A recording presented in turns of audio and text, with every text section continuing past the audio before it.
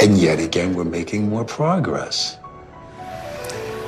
Lily, I've missed you so much.